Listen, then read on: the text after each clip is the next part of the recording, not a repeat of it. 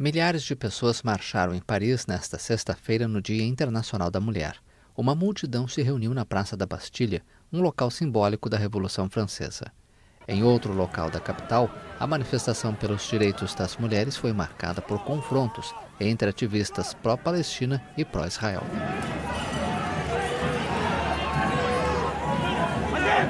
No Paquistão também houve mobilização.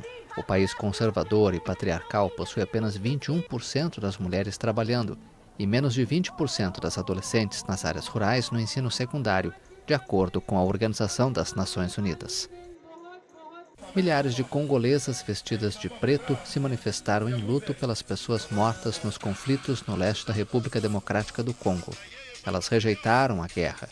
A multidão caminhou pelas ruas de Bukavu, capital de Kivu do Sul, uma das províncias do leste afetadas por décadas de violência armada. Na Espanha, uma grande marcha reuniu milhares de mulheres em Madrid. Já era noite quando elas saíram às ruas para pedir a defesa de seus direitos, mais igualdade e menos violência. Em Buenos Aires, a concentração foi perto do prédio do Congresso. Milhares de mulheres e ativistas participaram da manifestação para marcar o Dia Internacional da Mulher.